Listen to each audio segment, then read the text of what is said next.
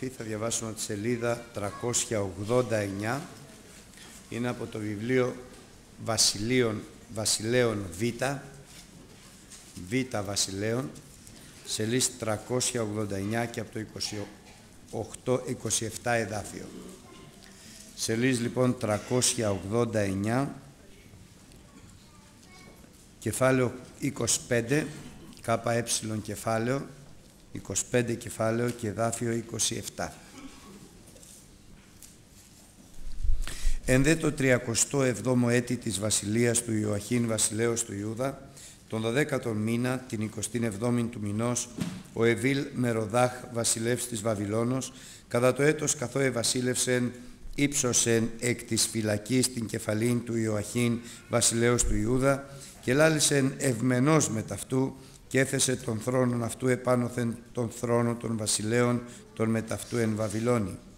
Και ήλαξε τα ημάτια της φυλακής αυτού και έτρωγεν πάντοτε άρτον μεταυτού πάσα στα σημέρα της ζωής αυτού και τους σιτηρέσιων αυτού ή το παντοτινών σιτηρέσιων διδόμενων εις αυτόν παρά του βασιλέως ημερούσιος χορηγία πάσα στα σημέρα της ζωής αυτού.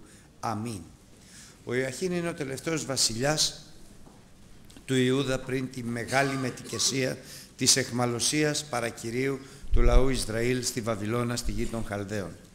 Βασίλευσε τρεις μήνες στα 18 του χρόνια, αλλά έπραξε πονηρά ενώπιον του Κυρίου και ο Θεός εξετέλεσε το λόγο τον οποίο είχε υποσχεθεί και είχε προφητεύσει δια Πνεύματος Αγίου με τον, και με τον Ιερεμία τον προφήτη. Η μετικεσία έλαβε χώρα η κρίση στο λαό Ισραήλ ήλθε και η αρχή έγινε από το βασιλιά ο οποίος εφυλακίστηκε και οι φυλακές της ε, εποχής εκείνης δεν ήταν αδερφοί αγαπητοί αστεία πράγματα. Οι φυλακές της Βαβυλώνος ήταν σκληρές. Και ο Ιωαχήνης στα 18 του χρόνια βρέθηκε στη φυλακή. Στη φυλακή αυτή δεν ζουν πολλά χρόνια αλλά σαν βασιλιάς του Ιούδα, σαν άνθρωπος που ήξερε το Θεό, εκεί στη μοναξιά της φυλακής του, της δοκιμασίας του, της κρίσης του Θεού και της, της ταλαιπωρίας του, ο Θεός δεν, υπήρχε, δεν υπάρχει καμία αμφιβολία ότι ήταν μαζί του.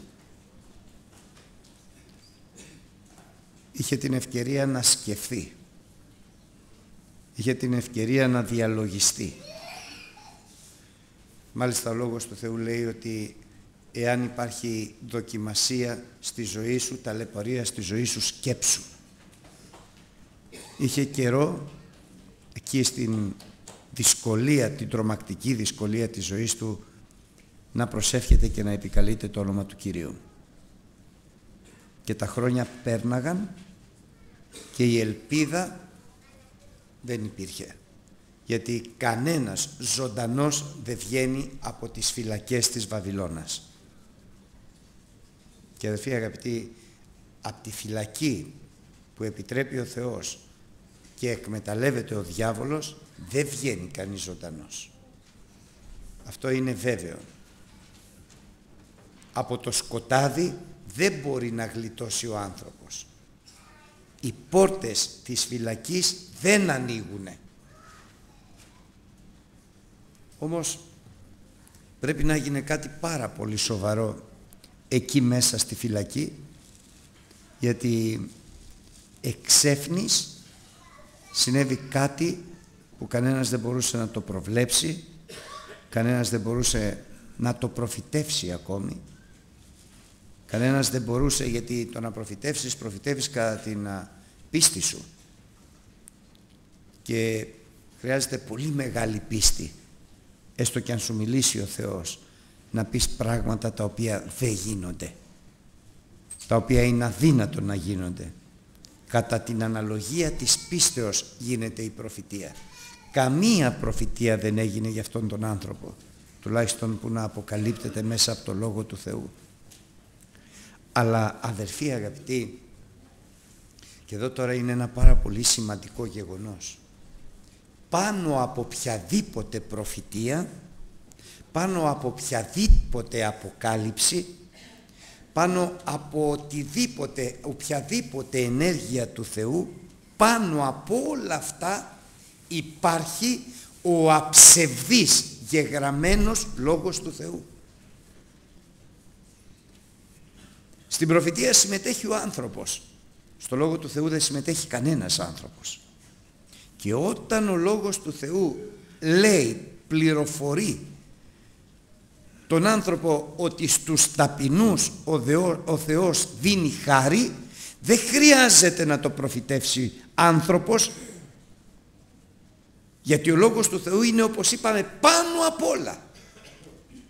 Ο άνθρωπος λοιπόν που θα ξεπεράσει τη γνώμη του, τους φόβους του, τις σκέψεις του, ακόμη ακόμη και ο Θεός να με συγχωρέσει που το λέω τόσο καθαρά και τη φωνή του Πνεύματος του Αγίου και θα γατζωθεί από το Λόγο του Θεού το γεγραμμένο αυτός ο άνθρωπος είναι σε απόλυτη ασφάλεια αφενός μεν και σε απόλυτη βεβαιότητα ως προς τις επόμενες κινήσεις που πρόκειται να κάνει ο Χριστός. Γιατί ο Χριστός να αρνηθεί το λόγο του δεν δύναται. Είναι πιστός ο υποσχεθής. Και γι' αυτό όλοι οι άνθρωποι του Θεού, ακόμη και ο παράκλητος στο πνεύμα της αληθείας, στρέφει την προσοχή μας πάντοτε ιδιαιτέρως δε σήμερα στο γεγραμμένο Λόγο του Θεού. Ο Λόγος του Θεού, το Ευαγγέλιο του Ιησού Χριστού είναι η απόλυτη αλήθεια. Ο Λόγος του Θεού είναι εν αυτό το ναι και εν αυτό το αμήν. Μακάριος ο άνθρωπος που ελπίζει στο Ευαγγέλιο του Ιησού Χριστού που κάνει βράχο του για να σταθεί αυτός και η οικογένειά του και να οικοδομήσει πάνω στο Ευαγγέλιο του Ιησού Χριστού. Ευλογημένος ο άνθρωπος που έχει θέσει το θρόνο της δόξης του πάνω στο βράχο που λέγεται Ευαγγέλιο του Ιησού Χριστού. Και αυτός ο θρόνος της δόξης του ανθρώπου δεν είναι παρά ο τόπος της ταπείνωσης. Ο τόπος της ταπείνωσής σου μπροστά στο Λόγο του Θεού θα γίνει, θα μεταβληθεί σε θρόνο δόξης. Δεν ξέρω τι συνέβη μέσα εκεί στη φυλακή, στη ζωή του Ιωαχήν, ένα ξέρω, ότι ο Ιωαχήν βρήκε χάρη. Αυτό το ξέρω με τα βεβαιότητος. Και για ένα είμαι βέβαιος απολύτως ότι για να βρει χάρη πρέπει να ταπείνωσε τον εαυτό του έως εδάφους.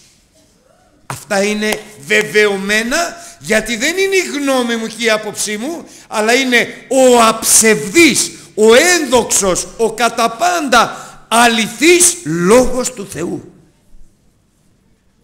Και όταν βρεις χάρη τότε τα πάντα αλλάζουν και αυτό αδελφοί αγαπητοί είναι το μήνυμα που ο Θεός θέλει να μας φέρει σήμερα.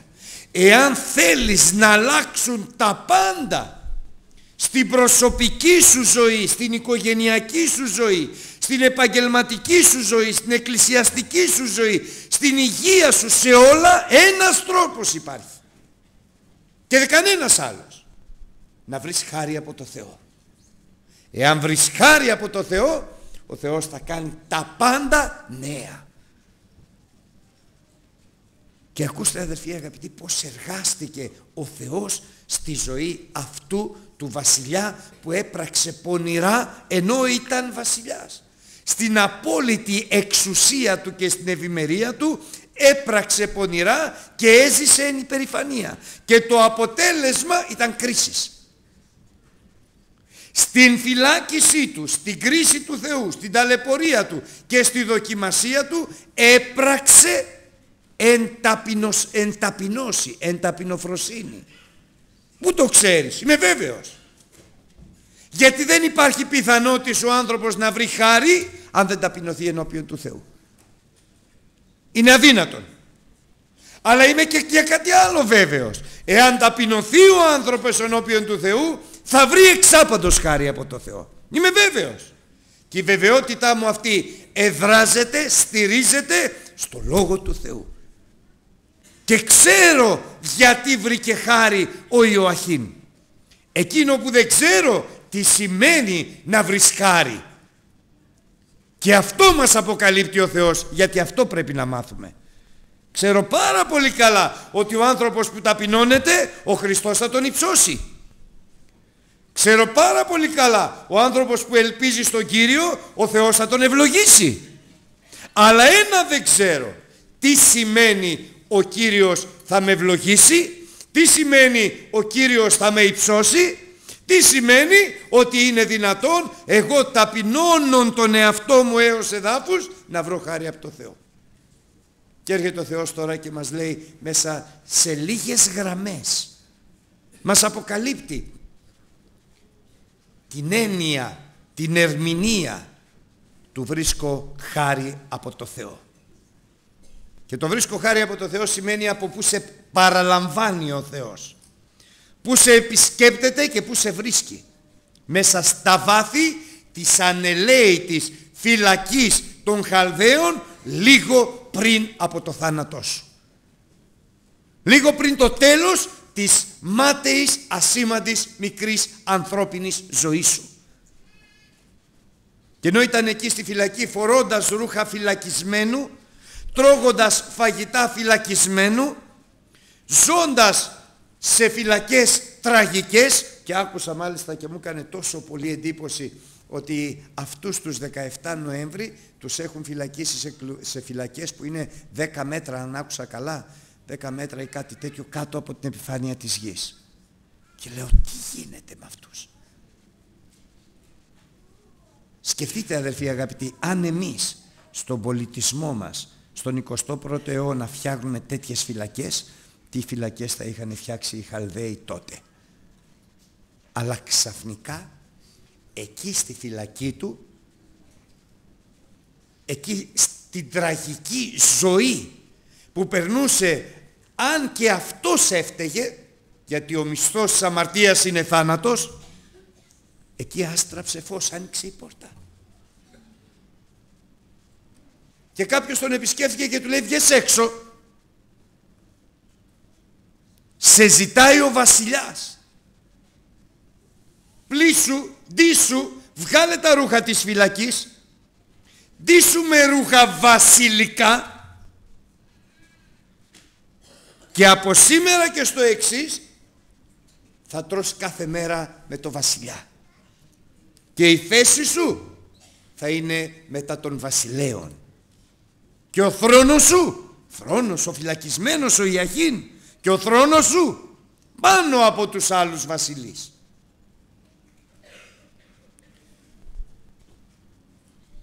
Πώς να το πιστέψεις;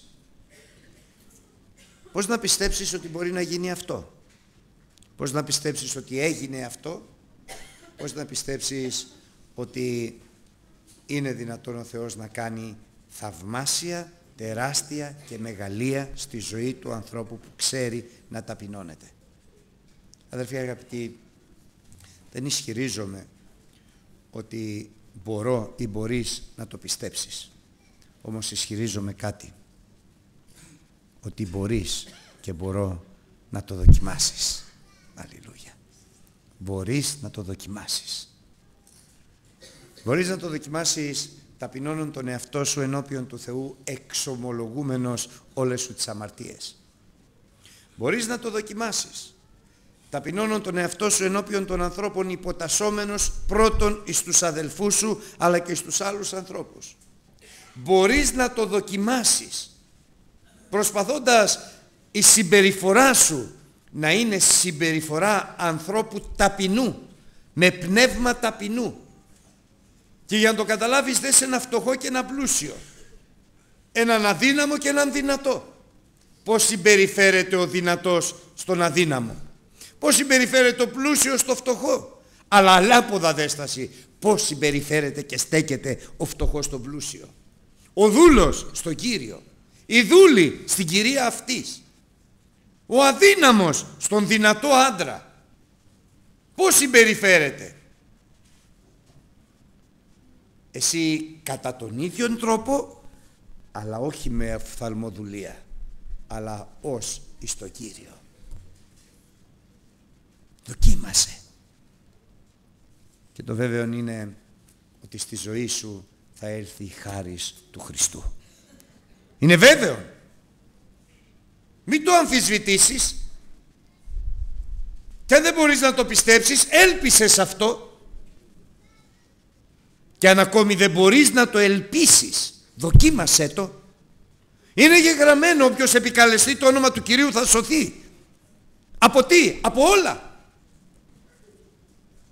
Είναι γεγραμμένο τα παλαιά παρήλθον. Ιδού τα πάντα έγιναν νέα. Από πότε; Από τη στιγμή πραγματικά που θα μπορέσεις να έχεις πνεύμα ταπεινού, καρδιά συντετριμένου ανθρώπου. Ποιος είναι αυτός που έχει καρδιά συντετριμένου ανθρώπου; Αυτός που πενθεί. Αυτός που στερείται. Και ποιος είναι αυτός που μπορεί πραγματικά να τρέμει στο Λόγο του Θεού; Αυτός που έχει εμπειρευθεί τον Κύριο. Αυτός που ξέρει ότι ο Ιησούς Χριστός είναι ο Κύριος των Κυρίων και ο Βασιλεύς των Βασιλέων. Αλληλούια. Ο Βασιλεύς μίλησε ευμενός προς τον Ιωαχήν. Με ευμένεια. Αδερφοί αγαπητοί, μία εικόνα ήρθε στην καρδιά μου όταν το διάβαζα. Μιας γυναίκας αδελφής ταλαιπωρημένης φόδρα. Από τον άντρα της, τα παιδιά της, για το όνομα του Χριστού. Και όλοι της λέγανε φύγε, φύγε, φύγε. Πώς τον αντέχεις, φύγε, φύγε, φύγε. Αλλά αυτή η κοπέλα έλεγε δεν τον αντέχω, αλλά περιμένω τον Κύριο.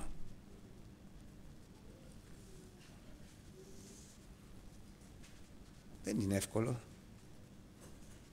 Αλλά σήμερα, αδερφοί αγαπητοί, αυτή, ο άντρας της και τα παιδιά της είναι στην Εκκλησία του Χριστού. Δεν σκεφτείτε να είχε φύγει. Τι ωραία που έμεινε. Τι ωραία που ταπεινώθηκε μπροστά στα παιδιά της, μπροστά στον άντρα της. Τι ωραία αδερφοί αγαπητοί να περιμένουμε τον Κύριο ο οποίος εξάπαντος θα ενεργήσει.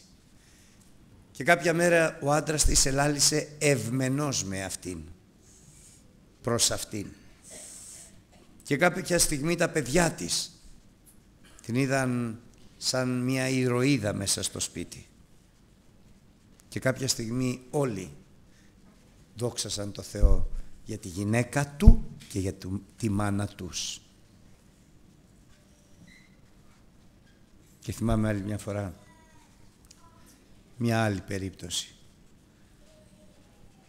Που είπε η κοπέλα θα φύγω και εγώ συμφώνησα. Αλλά και πήγα και προσευχήθηκα και μου είπε ο Κύριος να της πεις να μείνει και πώς να της το πεις. Μερικές φορές ο Λόγος του Θεού δεν είναι εύκολος. Αλλά αδερφοί αγαπητοί όταν τον στηρίξουμε επάνω στο Ευαγγέλιο του Ιησού Χριστού τα δύνατα στους ανθρώπους είναι δυνατά εις το Θεό. Και η χάρις του Θεού συνέχισε στον Ιωαχήν. Το σιτηρέσιον αυτού ή το πατοτινόν σιτηρέσιον διδόμενον εις αυτόν παρά του βασιλέως ημερούσιος χορηγία πάσα στα σημέρα της ζωής αυτού. Δεν του έδωσε ένα μεγάλο απόθεμα. Του λέει πάρε για να έχεις ασφάλεια και όποτε χρειάζεσαι να παίρνεις και να τρως και να χαλάς και να ξοδεύεις. Δεν είναι έτσι η χάρη του Θεού. Με αποθέματα. Η χάρη του Θεού είναι με καθημερινή προσφορά. Με καθημερινή συναλλαγή. Με καθαρή πίστη. Κάποτε όταν πείνασαν και δεν είχαν ψωμί να φάνε οι Ισραηλίτες στην έρημο, ο Θεός τους είπε θα σας στείλω το μάνα. Έξι μέρες θα το μαζεύετε και θα το τρώτε. Την εβδόμη δεν θα μαζεύετε, αλλά την έκτη θα μαζεύετε για δύο μέρες. Όταν έπεσε το μάνα πέσανε μερικοί που δεν πίστεψαν ακριβώς το Λόγο του Θεού και πήραν για δύο μέρες. Όταν πήγαν όμως την άλλη μέρα να το φάνε είχε σαπίσει. Γιατί αυτό που σου δίνει ο Θεός είναι έτσι ακριβώς όπως το δίνει και δέξου το. Όταν όμως μάζεψαν την έκτη μέρα για την εβδόμη ήταν το ίδιο φρέσκο. Αλληλούια. Αδελφοί ο Λόγος του Θεού, η χάρις του Θεού δεν είναι σύμφωνη με τη λογική και τη σοφία του ανθρώπου. Η χάρις του Θεού είναι πάντοτε σύμφωνη με το Ευαγγέλιο του Ιησού Χριστού. Και αν θέλεις να απολαμβάνεις όλη τη χάρη του Θεού, μείνε στο Ευαγγέλιο του Ιησού Χριστού. Και όταν δεν μπορείς να καταλάβεις από το Ευαγγέλιο του Ιησού Χριστού τις λεπτομέρειες της ζωής σου, τότε εξήτησε τη φωνή του Πνεύματος του Αγίου. Και ο Θεός είτε με το Λόγο Του, είτε με τη δύναμη του Πνεύματος του Αγίου, θα κάνει νέα τα πάντα. Θα κάνει θαυμάσια, τεράστια και μεγαλεία στη ζωή του καθένα, του κάθε ένα που θα μπορέσει εν τέλει να ταπεινώσει τον εαυτό του ενώπιον του Θεού, ενώπιον του περιβάλλοντος του και ενώπιον παντός ανθρώπου αλλά πάντοτε εν Κυρίω. Amén.